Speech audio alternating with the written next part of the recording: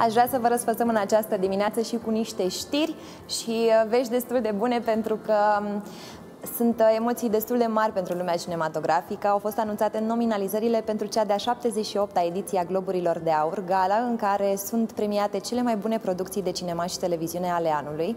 Lungmetrajele Tatăl Meng și uh, procesul cele șapte din, uh, celor șapte din Chicago au primit cele mai mul- multe nominalizări, iar specialiștii le dau cele mai multe șanse de a câștiga Globul de Aur, veste care se și leagă cu următorul nostru invitat, așa că urmăriți și rămâneți alături de noi.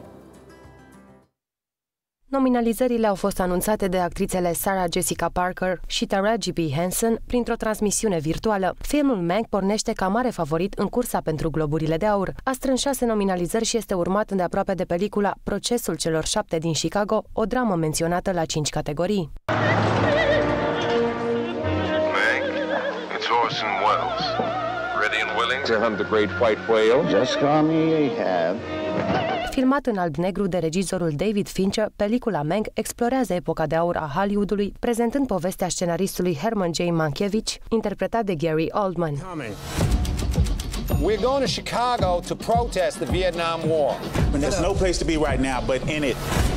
Drama Procesul celor șapte din Chicago pornește și el ca favorit în cursa pentru mult râvnitele Globuri de Aur. Lungmetrajul a adunat numai puțin de cinci nominalizări pentru cel mai bun film-dramă, pentru cel mai bun regizor, cel mai bun scenariu, cel mai bun actor în rol secundar și pentru cel mai bun cântec. În ceea ce îi privește pe actorii din rolurile principale, anul trecut au ieșit în evidență Riz Ahmed, care a jucat în Sound of Metal, Anthony Hopkins într-un rol excepțional din The Father și Gary Oldman din Mank. Iar la categoria feminină, lupta se va da între Viola Davis, Ma Rainey's Black Bottom și Andra Day, The United States vs. Billie Holiday. Un prim câștigător al galei a fost anunțat deja. Este vorba de actrița Jane Fonda, care va primi trofeul pentru întreaga carieră. Trofeele vor fi acordate în urma votului celor aproximativ 90 de membri ai Asociației Presei Străine de la Hollywood. Câștigătorii vor fi anunțați pe 28 februarie. Gala va fi prezentată de actrițele Tina Fey și Amy Poehler. Vedetele nu vor fi însă prezente una lângă cealaltă. Tina va transmite în direct din New York, în timp ce Amy se va afla în Los Angeles. V-am zis că se leagă subiectele între ele, atât știrea cât și următorul uh, meu invitat au legătură cu lumea filmului. Invitatul de astăzi, să știți că este extrem de pasionat de filme, el este creator de conținut, propune și foarte multe recenzii. O să vedeți și la noi în această dimineață una dintre ele. Se numește Florin Rogojinaru și spun bună dimineața și bine ai venit la noi. Bună dimineața și bine te-am găsit. Mulțumesc pentru invitație. Zim sincer, ți-e dor să mergi la cinematograf pe o scară de la 1 la 10? Pe o scară de la 1 la 10 de cinematograf mi-e dor de nota 9, să spun. Mi-e dor maxim de nachos și să stai la... Ok. de sosul și să stai la coadă să-ți iei acele mm, mâncăruri înainte să te uiți la un film. Dar da, ne lipsesc, îmi lipsesc cinematografele și filmele. Mai nu știu cum arătai tu când încă erau redeschise deschise cinematografele, dar nu pare un băiat care să mănânci nachos. nu, ori ai slăbit în pandemie că n-ai mai fost la cinematograf, Dar suc, ori nu pa- mănânci atât de mult nachos. Dar de suc, suc, consum și suc. Pe lângă nachos beau și suc. Da, A, și ăsta a rămas. Am Da, înțeles. Măi, să știi că nu se vede, Mulțumesc. dar uh, aș vrea să te întreb uh, cum ai descoperit YouTube-ul, pentru că nu mulți oameni au uh, curajul să se expună pe YouTube, să spună ceea ce gândesc, să se lase criticați de alți oameni. Mm, Da. Păi povestea cu YouTube-ul și activitatea mea pe YouTube a început când s-au terminat toate celelalte activități. Când n-am mai putut să mergem la cinematografe, n-am mai putut să ieșim în oraș cu prietenii, să ne vedem și am, am avut mai mult timp liber și am stat în casă, consumând YouTube. Am zis, de ce nu? De ce să nu încerc să fac și eu ce... Dacă alții pot, eu de ce n-aș putea să fac asta? Și care au fost primii pași? Nu știu, te-ai uitat la tutoriale despre cum să filmezi, ce echipament îți trebuie, cum să montezi, cum să editezi. Da, Mi se pare complicat să o iei așa de la zero. Și cam așa am luat-o și poate primele mele clipuri, în primele mele clipuri, nu am fost foarte inspirat, deoarece nu știam cu ce se mănâncă filmatul, cum se filmează pe YouTube, cum de bine și primele mele clipuri au fost filmate portret. Și am ținut telefonul așa și toți prietenii mei, după ce le-am trimis clipul, bă, nu așa se filmează, nu așa se, se ține telefonul culcat ca să se vadă atunci când se uită cineva pe un laptop, să se vadă pe ecran uh, complet. Dar nu am știut asta.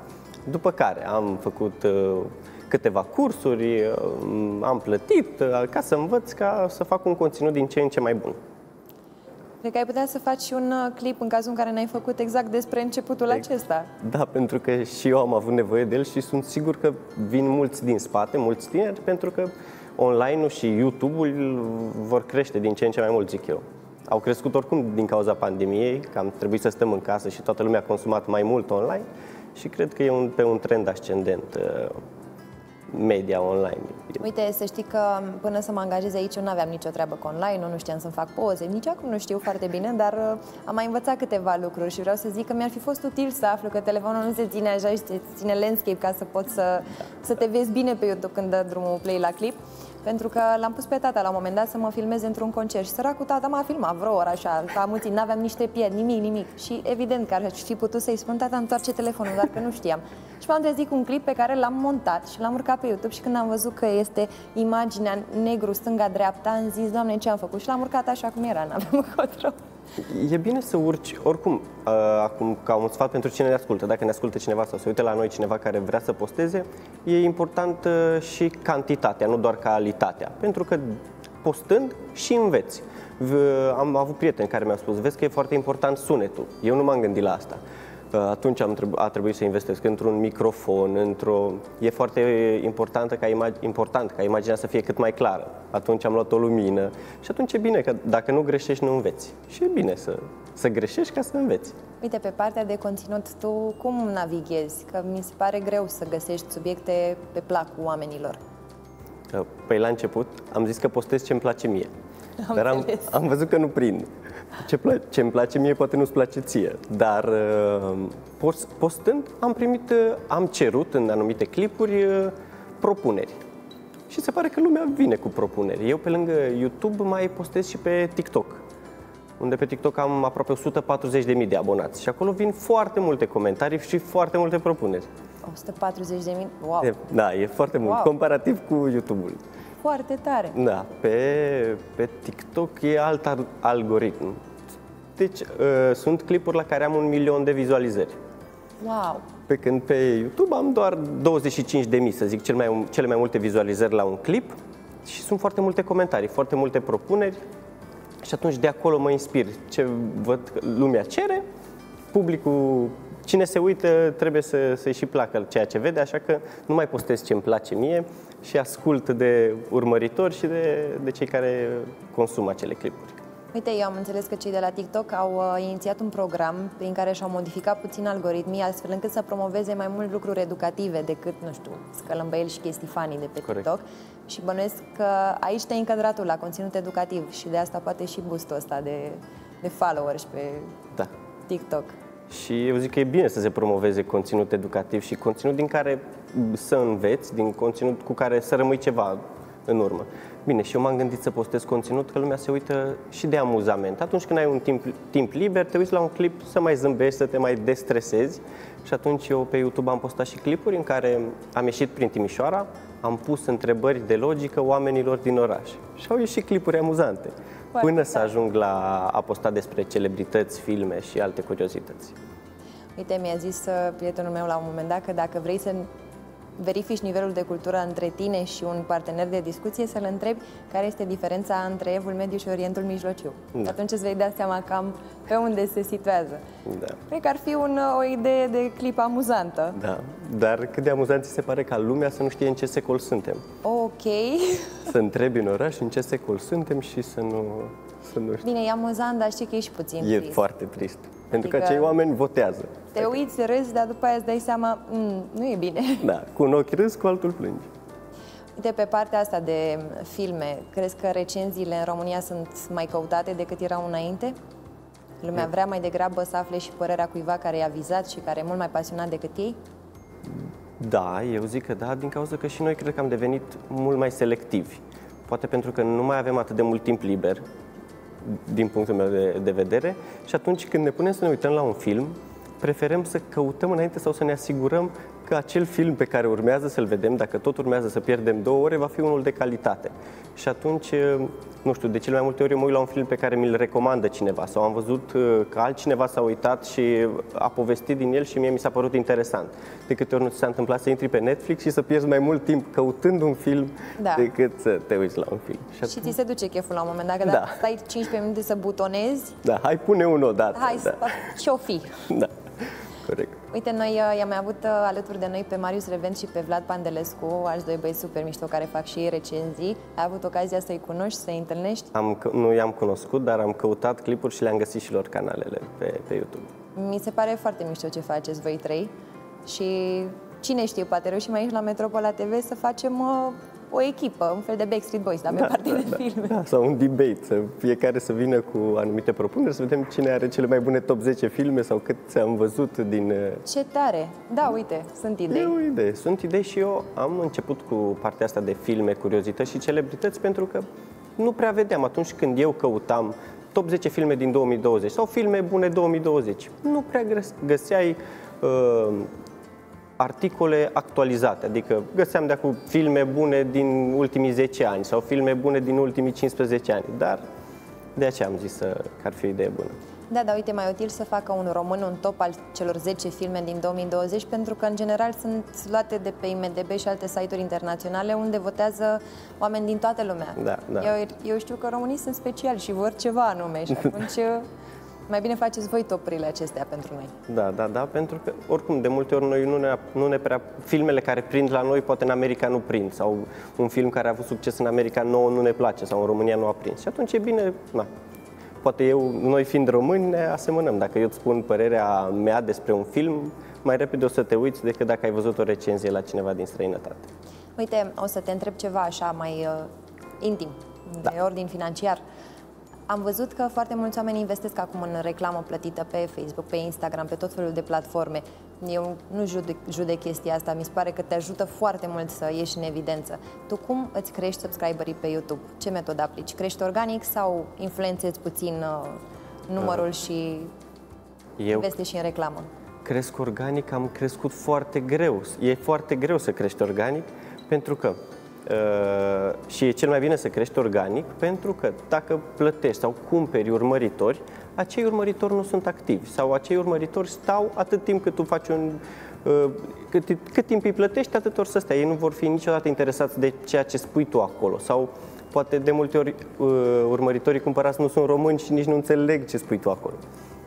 Așa că eu consider, uite, clipurile mele de pe YouTube au mai multe vizualizări decât urmăritori, ceea ce nu prea logic, nu, nu are logică. Dacă eu am, aș avea un milion de urmăritori, logic ar fi să am mai puține vizualizări, pentru că poate din cei un milion nu s-au uitat toți. Dar eu am clipuri, am doar, acum am aproape 7000 de abonați și am clipuri, cum ți-am spus, care au 25.000 de vizualizări. Adică lumea s-a uitat, le-au plăcut clipurile mele, dar nu, to- nu toți s-au abonat. Am avut și un prieten care mi-a, i-am trimis primul clip și l-am, unul dintre cei mai buni prieteni și l-am rugat, te rog, abonează-te și tu că am nevoie să ajung la 1000 de abonați ca să pot să, să-mi apară și mie reclame pe YouTube, să primesc bani. Și nu s-a abonat. După ce am trimis al doilea clip, s-a uitat la clipul meu și ce Florin, acum mă abonez pentru că am vrut să văd că te ții de treaba asta.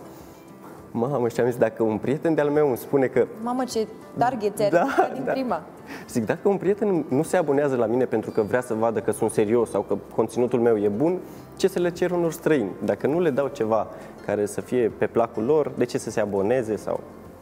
E, uite, vezi, asta e o perspectivă interesantă, că dacă te-ai fi oprit la prima parte a poveștii, aș fi zis halal prieten, dar Da. acum că ai zis că E un prieten foarte bun. ți-a zis cumva să, să crești și te-a, te-a împins așa de la spate, asta da, prieten. Da, Deci de astfel să- de prieteni să-ți avem aproape. nevoie. Da, da, da, mulțumesc. Uite, aș vrea să-ți smulg o confesiune. Ce urmează să postezi în uh, următoarea dată, când uh, urci un material pe YouTube?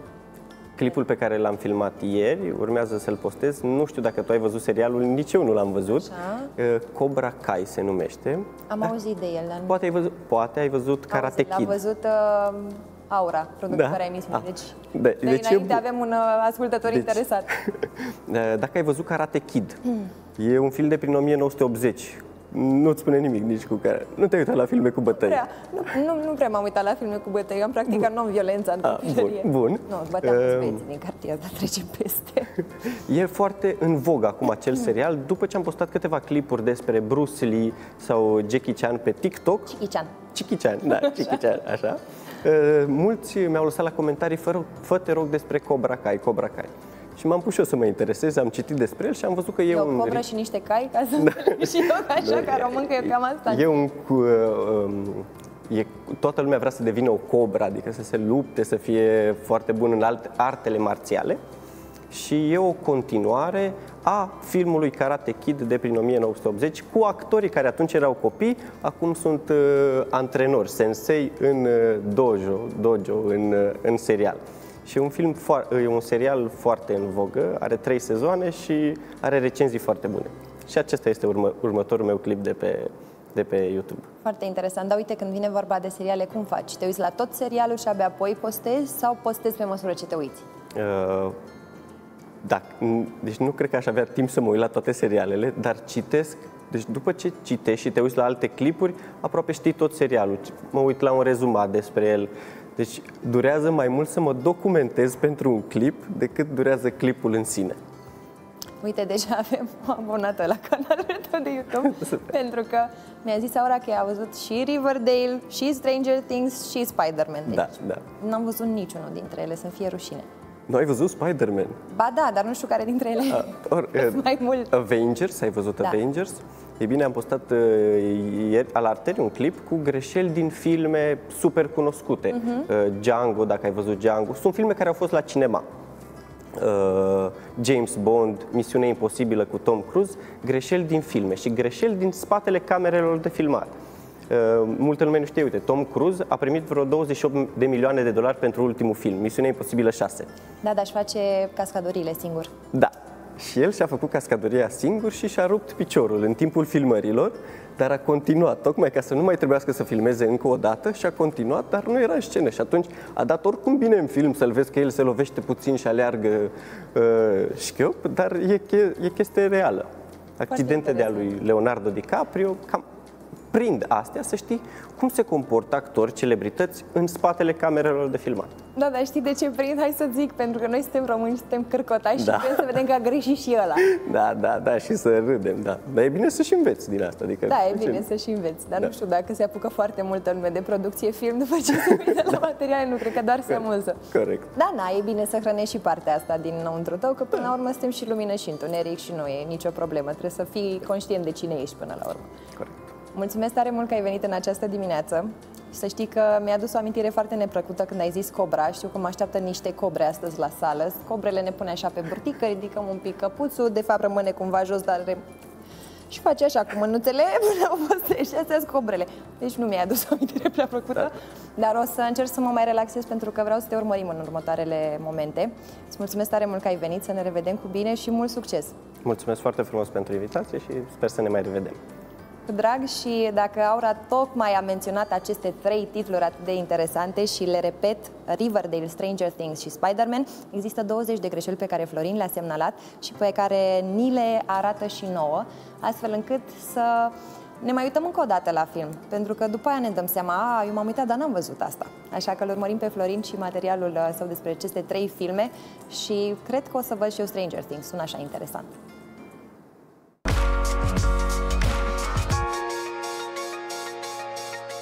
Toată lumea știe că nimeni nu e perfect.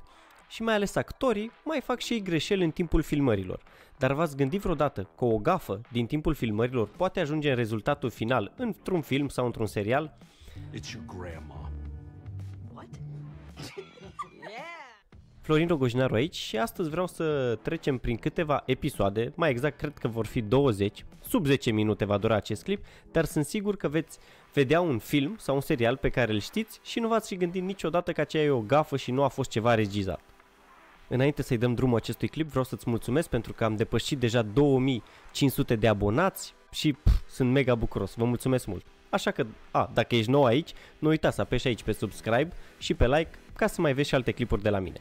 În acest clip vei vedea gafe ale unor mari actori, cum ar fi Tom Holland din Spider-Man, Robert Downey Jr. din Avengers sau Millie Bobby Brown din Stranger Things, sau să nu uităm de Joaquin Phoenix din uh, Joker, cel care a luat și Oscarul pentru acest film. Începem cu Stranger Things. Putem spune despre acești actori că sunt la începutul carierei, dar dau totul pentru performanță. În această scenă, din sezonul 3, când Eleven se luptă cu Billy care era posedat, aceasta cade extenuată pe spate pe Michael. Dar am aflat că Millie Bobby Brown, actrița, a fost într-adevăr extenuată și a căzut cu spatele pe fin, fără un scenariu în spatele acestei acțiuni. Scena a fost atât de intensă încât actrița chiar a obosit și s-a lăsat pe spate pe fin. Se poate observa cum actorul se uită către directori nedumerit de ceea ce se întâmplă. Filmul de groază It. Un clown ucigaș și înfiorător te sperie atunci când îl vezi pe ecran. Da, mai dacă îl vezi în viața reală. Chiar asta li s-a întâmplat tinerilor actori din filmul horror It. I think we all also decided mutually that it would be good to see him for the first time and just be freaked out. Copiii din clubul rataților din filmul It erau ținuți departe de Bill Skarsgård atunci când acesta era la machiat sau era costumat. Prima oară când l-au văzut a fost în scena cu proiecția, iar frica de pe chipul lor era reală. Nu a fost o prietenie la prima vedere între acest duo de supereroi. De fapt, a durat ceva timp până când Robert Downey Jr. s-a împrietenit cu Tom Holland. De aceea, acest moment nu a fost nimic mai mult decât un moment stânjenitor pentru cei doi actori. Asta datorită mai mult lui Peter Parker care și-a ieșit din personaj. It's not a hug, I'm just grabbing the door for you. We're not, we're not there yet. Îmbrățișarea lui Tom Holland a fost o glumă din partea actorului, iar reacția lui Robert Downey Jr. cu deschiderea portierei a fost încercarea acestuia de a salva scena. 4. Avengers Infinity War Se pare că improvizarea merge bine pentru cei doi actori. În Avengers Infinity War, Tom Holland și-a improvizat scena morții cu Robert Downey Jr. Replica lui Tom a fost făcută pe loc, ceea ce a făcut ca nu doar momentul să pară cât mai real, ci și emoțiile celor doi actori. 5. Now You See Me. Sper că ați văzut acest film cu magicieni. Filmarea acestei scene a fost foarte periculoasă. Motiv pentru care caracterul lui Isla Fisher, Henley, arată de parcă se înneacă într-unul dintre trucurile lor.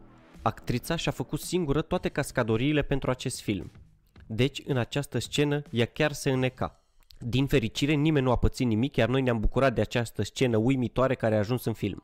6. The Hunting of the Hill House Voi ați vrea să faceți parte din regia unui film cu o casă bântuită? Mai ales dacă ați ști că directorii acestui film sperie intenționat actorii pentru a obține o reacție cât mai reală.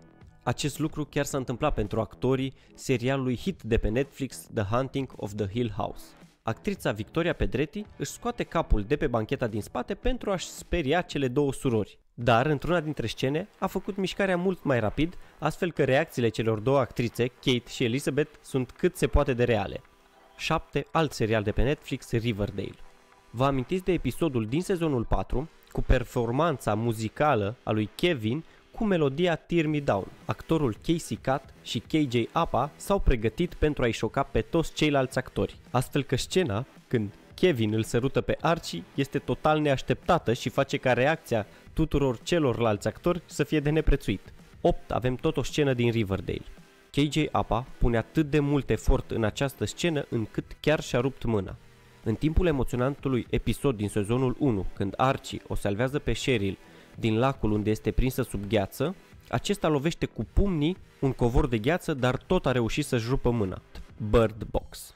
Acest film a rupt recorduri la Netflix, dar la câtă muncă s-a depus nu e deloc surprinzător. Un fapt uimitor despre acest film este că Sandra Bullock era legată în toate scenele, așa că ea chiar nu putea vedea. Asta înseamnă că în toate scenele, când se împiedica, totul era real. 10. Film de nota 10, Joker. Despre acest film putem spune că a fost spectaculos, iar asta se datorează, în mare parte, actorului Joaquin Phoenix. Există această scenă monumentală care a ajuns în film, iar ea se datorează în totalitate emoțiilor lui Joaquin. Când a auzit pentru prima dată coloana sonoră a filmului, el a lăcrimat. Această lacrimă din această scenă este reacția lui la ce a auzit atunci. 11. To all the boys I've loved before. Povestea de dragoste dintre Lara Jane și Peter este probabil ceva despre care am visat și noi, măcar o dată în viață. dar cât de mult a venit din partea actorilor și cât de mult a fost de fapt o distracție între Lara și Noah. Dacă ai fost atent în timpul filmului, poți observa pe fundalul telefonului pe Lara și Peter dormind. Din spusele directorului, această poză a fost făcută când cei doi dormeau între filmări. 12. Maleficent Orice copil ar fi speriat de Maleficent, până și nouă adulților ne-ar fi frică de Maleficent. De aceea, singurul copil căluia nu i-a fost frică de Maleficent a fost fica Angelinei Jolie, Vivian.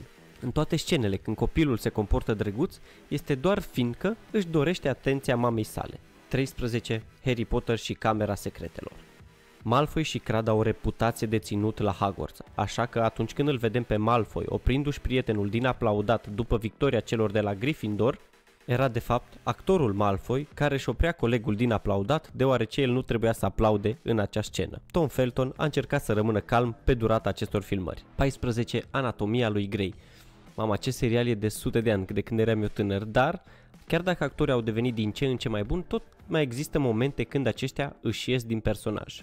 În această scenă, Jessica s-a gândit să improvizeze un sărut cu Camila, astfel că uimirea de pe fața lui Joe este 100% reală.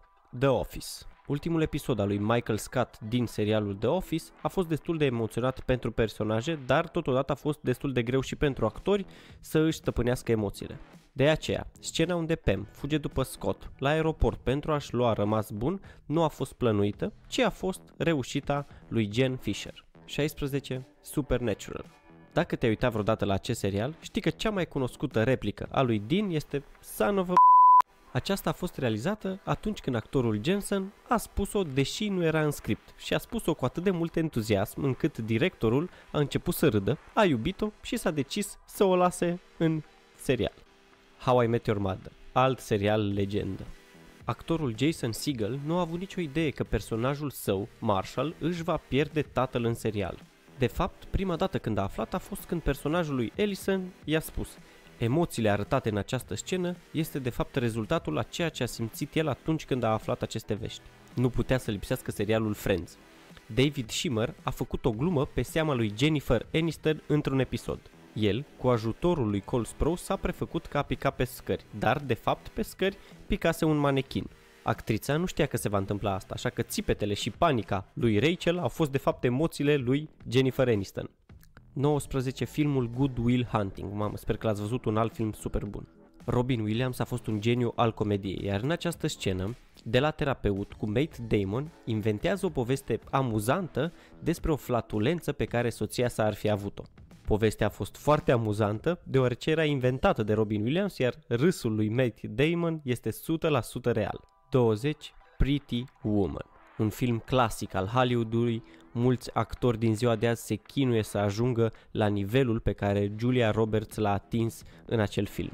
Ei bine, una dintre cele mai importante scene din acest film a fost complet improvizată. Când Julia Roberts întinde mâna către cutia cu bijuterii, Richard Gere închide ușor cutia astfel încât îi prinde degetele Juliei în cutie, iar actrița nu se aștepta deloc la asta.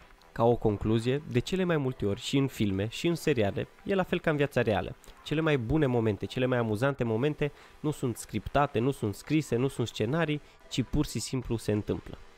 Dacă ți-a plăcut acest clip, dacă vrei să mai vezi și alte clipuri de la mine, nu uita să te abonezi, să apeși pe like și sper să ne mai vedem. Mulțumesc!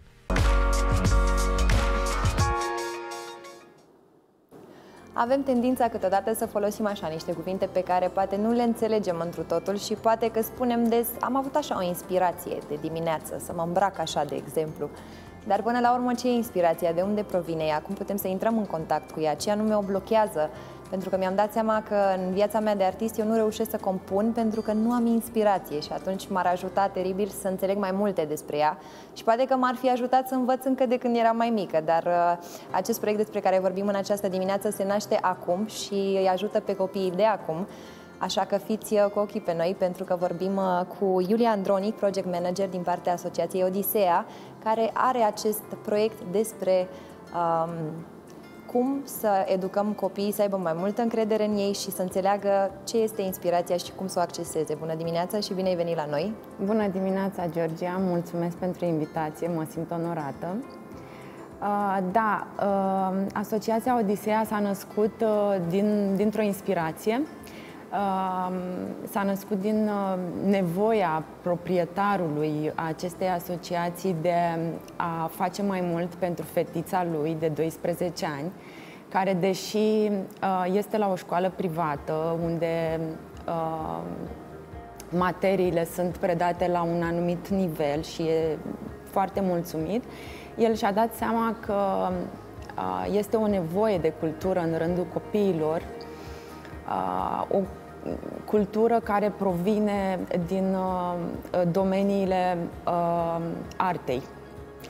Uh, practic, așa s-a născut această odisee, această asociație din, din nevoia lui reală de conectare cu piața, cu vremurile în care trăim Uh, și uh, a pus în practică imediat această idee, uh, interesându-se, studiind, cercetând și a constatat că orice domeniu sau disciplină care are, nevo- are legătură cu arta, practic îi ajută pe copii să devină creativi, să fie conectați cu ei înșiși, să-și dezvolte uh, diferite abilități, uh, cum ar fi creativitatea, adaptabilitatea, flexibilitatea la mediu, Uh, și atunci uh, am pornit această călătorie. Asociația Odiseea s-a născut în 2018, dar uh, practic am pornit călătoria în perioada pandemiei, odată cu online-ul. Am, am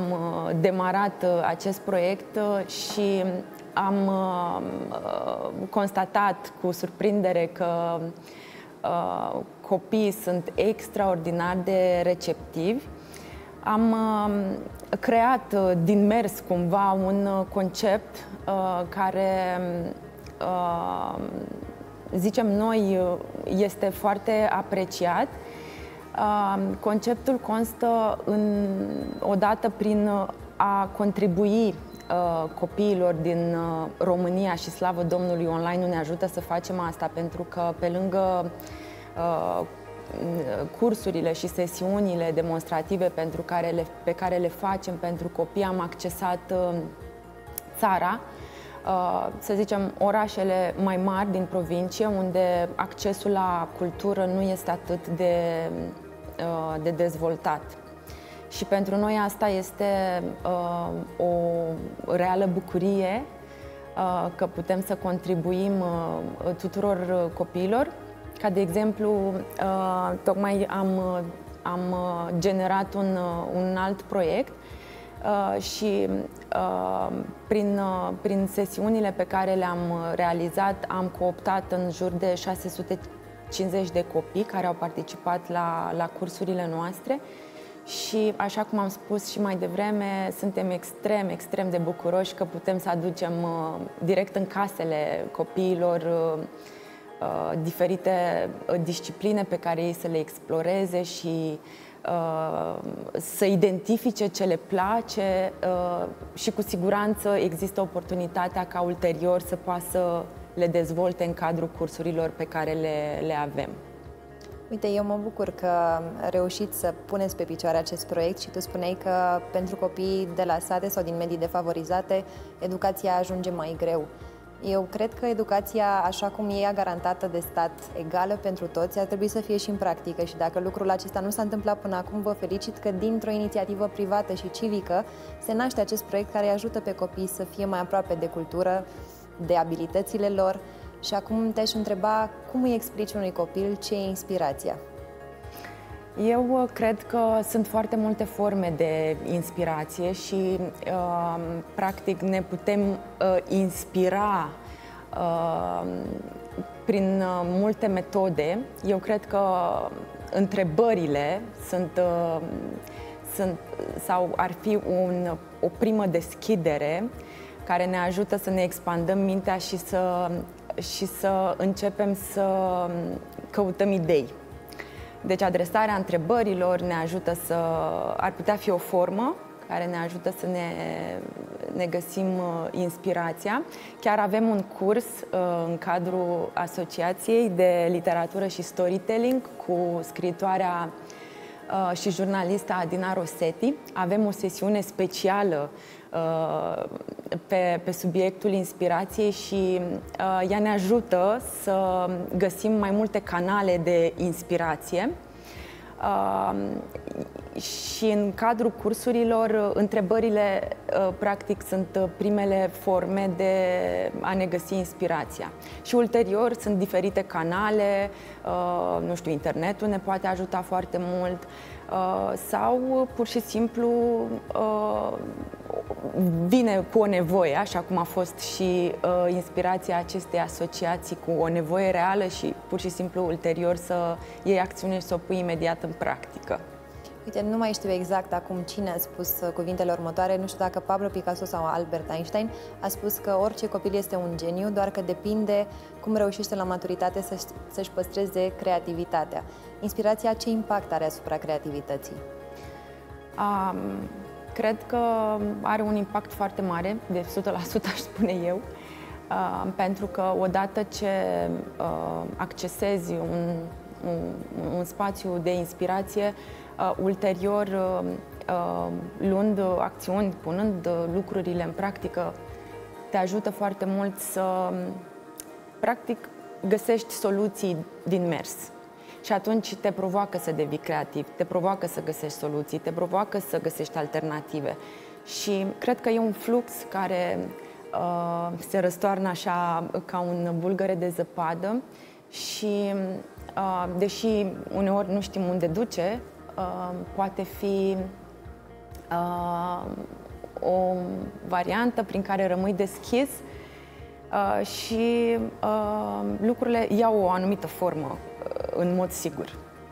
Uite, s-ar putea crede că prin cursurile pe care voi le propuneți ne-am limitat la ceea ce inspirația și creativitatea reprezintă în domeniul artei, dar eu înțeleg că asta rămâne abilitatea aceasta rămâne alături de copil pe întreaga sa viață, iar pandemia cred că a fost cel mai bun context de a înțelege faptul că dacă acum nu suntem creativi, originali și nu ne putem adapta, s-ar putea să pierdem anumite șanse pe care viața ni le oferă. Și am mai înțeles că prin acest spațiu pe care voi îl asigurați copilor, acest spațiu de încredere, le creionați aceste abilități și le dați încredere.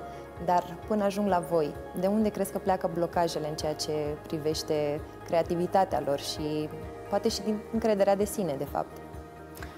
Ok. Uh, noi credem că domeniile pe care le-am ales uh, ajută cumva copiii, uh, le asigură un ghidaj, să spunem, uh, prin care să acceseze uh, anumite abilități fiecare în funcție de ce își dorește, cu ce rezonează. Importantă este partea asta de uh, expunere.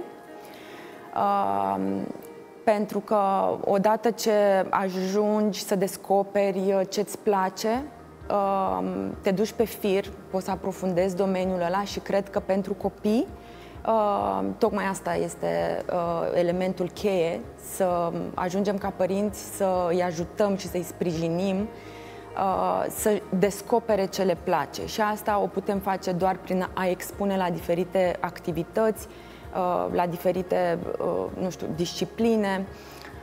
Și cu siguranță, descoperind ceva ce le place și mergând în acel domeniu, uh, urmând, uh, studiind uh, mai departe și dezvoltând acea, acel domeniu sau acea disciplină, îi ajută foarte mult să-și descopere, să, să-și uh, uh descopere uh, abilități, uh, să aibă mai multă încredere în sine și uh, practic îi ajută și îi pregătește pentru viață. Uh, și ca să răspund la întrebare mai uh, concret, deci eu cred că uh, varianta câștigătoare este ca copiii să, să aibă cât mai multe posibilități de a se expune în diferite situații, dar au nevoie să fie sprijiniți. Am, am această experiență cu copiii, eu am onoarea să particip la toate aceste cursuri și să fiu în preajma lor, îi urmăresc cu mult interes și cu multă bucurie. Uh, și văd uh, progresele și văd cum se transformă și ne dau feedback-uri și vedem pur și simplu bucuria din, uh, din ochii lor. Suntem mereu în legătură cu, cu părinții primim mereu feedback de la ei și pentru noi e o reală bucurie când îi auzim pe părinți că ceva s-a mișcat în copil în urma participării la curs. Uh, e, e absolut fascinant uh, să, să fii alături de ei și să vezi cum uh, înfloresc. Uite, aș mai avea o întrebare în privința cursurilor. Ce exerciții propuneți pentru ei? Pentru că eu cred că timiditatea se vindecă și prin această expunere despre care vorbeai. Atunci când un copil e încurajat să-și spună povestea, să-și spună punctul de vedere, devine mult mai curajos în viața sa de adult. Uh, da, uh, am introdus în uh, portofoliul nostru de cursuri uh, uh, și uh, public speaking, uh, actorie. Uh, așa cum spuneam, noi momentan uh, susținem cursurile online Uh, ce ne ajută foarte tare și ne sprijină este uh, calitatea și um, calitatea lectorilor pe care îi avem. Aș putea să, spunem, să spun că um, Asta, asta e un aspect care ne diferențiază în piață. Ne-am dorit să căutăm niște oameni uh, pasionați, fiecare în domeniul lor, și care să-și dorească să dea mai departe din ceea ce știu Um, pentru a contribui generației uh, uh, viitoare. Și atunci uh, sunt oameni care și-au adaptat exercițiile și metoda de furnizare a informațiilor pentru mediul online. Um, toate cursurile pe care le avem, toate sunt interactive, uh, pare un pic SF, pentru că, deși am, de-a lungul perioadei astea de pandemie, am uh, sesizat rezistențe din partea părinților sau a copiilor la mediul online, ușor, ușor eu văd uh, uh, că lumea s-a relaxat uh, și văd beneficiile uh, cursurilor online. Uh, cu atât mai mult cu cât, așa cum spuneam și mai devreme, lectorii găsesc metode alternative de a îi ajuta pe copii să-și depășească timiditățile și uh, prin expunere.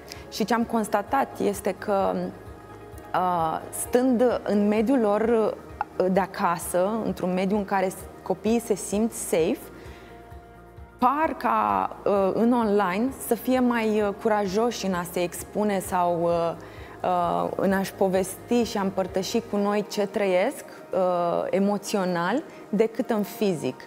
Uh, asta a fost un feedback pe care l-am primit de la uh, mai mulți părinți care îmi spuneau că, uite, deși am un copil foarte timid, uh, zice, nu mă lasă să stau în sesiunile de curs alături de el, dar mai aud așa din, uh, din uh, fundal și a, zice, l-am auzit într-o zi vorbind uh, în curs, uh, zice, nu, eu nu credeam, eu credeam că are microfonul închis și că vorbește singur.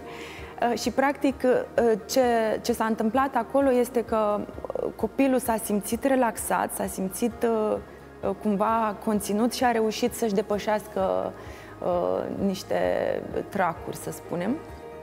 Noi uh, oferim uh, și ne străduim pe cât posibil să le oferim un climat uh, safe, să se simtă în siguranță în timpul cursurilor, iar uh, eu cred că metoda și uh, lectorii uh, reușesc să îi ajută să, să se deschidă, iar uh, folosindu-ne de artă, uh, eu zic că asta este o metodă um, câștigătoare uh, de a-i ajuta pe copii să se deschidă, să devină, uh, nu știu, să, să devină vulnerabili.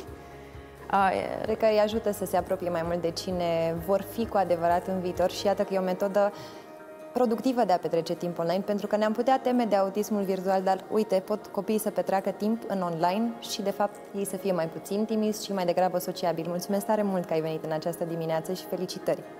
Mulțumesc pentru invitație și mulțumim pentru aprecieri! Mai departe, să știți că vă propun să luăm o scurtă pauză de publicitate, cam 5 minute așa după ceasul meu biologic, așa că fiți puțin răbdători, pentru că mai avem subiecte interesante, așa că fiți pe fază.